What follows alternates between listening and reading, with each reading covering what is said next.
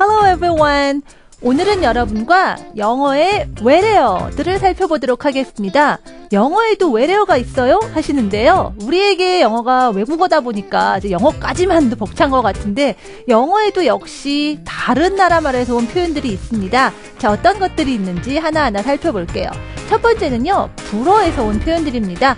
우리 보통 어, 식당 갈때 뷔페 가자 이런 말 많이 하는데요.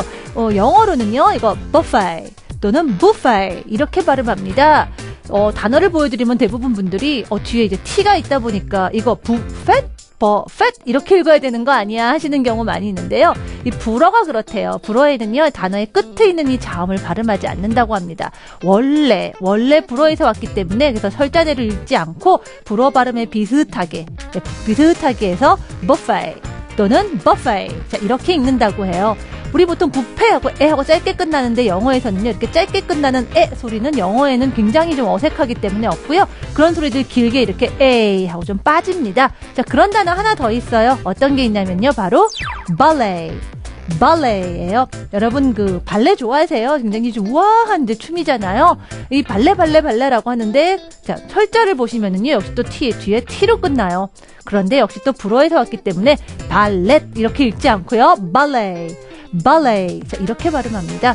이 발레하고 또 비슷한 것 중에 하나가 우리 그 주차할 때 그 발레 파킹 발레 파킹 하는데 예, 그 춤추는 발레가 아니고요. V로 시작해서 valet parking이라고 합니다. 이 valet도요, 예, 역시 t로 끝나지만 valet 이렇게 하지 않고 불어식으로 valet 자 이렇게 읽는다는 거. 자 그래서 불어에서 온 외래어 같은 경우에 여러분이 어, 이 소리를 익히지 않은 상태에서 단어를 먼저 보시면 잘못 읽기가 좀 쉽거든요. 그래서 오늘 이 기회에 잘 알아두시라고 좀 알려드렸습니다. 다음으로는요 이태리어에서 온 표현들이에요. 음, 그다지 어렵지 않을 겁니다. 우리 일상 중에도 많이 쓰이거든요. 음식 단어들이 좀 많이 있어요. 예, 파스타, 뭔지 아시죠? 그 이태리 그 국수 요리들을 우리가 보통 다 파스타라고 얘기합니다. 피자 역시 이 피자 모르시는 분 없죠? 이것도 역시 이태리에서 온 영어에서는 사실 영어 입장에서는 외래어입니다. 그다음에 스파게티 역시 뭐 스파게티 모르시는 분은 없을 것 같고요. 요 단어 한번 볼게요. 우리 카페라떼 카페라떼 많이 하는데 영어에서는요 이거 caffe latte caffe latte 자 이렇게 발음합니다. 역시 라떼 에 하고 못 끝내고요. 카페 카페 이렇게 못 끝나기 때문에 caffe latte 약간 이렇게 에이 하고 뒤로 빼는 발음으로 합니다. 그래서 그 영어의 그 외래어 같은 경우는 그 원래 왔던 그 나라 말 언어의 발음이 약간 영어적으로 소화되면서 이렇게 읽어요 하는 것들 여러분이 좀 기억하실 게 있어요. 그러다 보니까 여러분이 이런 것 좀 궁금하실 수 있습니다. 혹시 그 아시아권 또는 우리나라에서 그 영어로 들어간 그런 외래어는 없나요? 있습니다. 몇 가지가 있는데요. 대표적인 것 중에 하나가 이제 카라오케. 예, 우리 가라오케라고 하는데 카라오케, 카라오케라고 해서 이러에서 온 표현이죠. 이제 가라오케 문제는 아실 거예요. 어, 이것도 역시 가라오케, 에 이렇게 못 끝나고 카라오케, 카라오케, 에 이렇게 좀 빼주는 발음으로 합니다. 또 있습니다. 토플.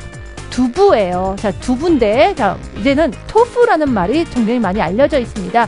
예전에만 해도 이제 이런 그 두부가 굉장히 낯선 음식이어서 외국인들이 토프라고 그러면 몰랐습니다. bean 뭐 이런 단어들 대신 썼는데 요즘은 워낙에 많이 잘 알려졌기 때문에 토프 자체가 그냥 하나의 영어의 외래어가 돼버렸어요.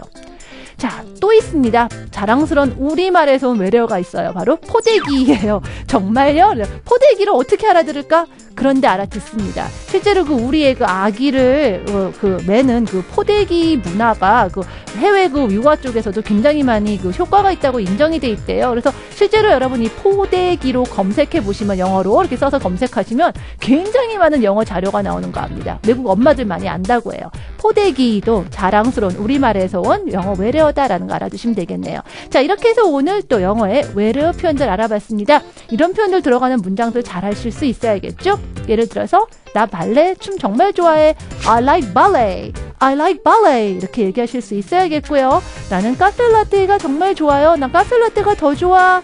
I prefer 카페 라떼. I prefer 카페 라떼. 자, 이렇게 얘기하실 수 있어야겠네요. 자, 조금 더 영어답게 영어의 어, 자연스러운 그런 발음들 있다라는 거 기억하시면 되겠죠? 자, 저는 또 다음 시간에 뵐게요. Bye everyone.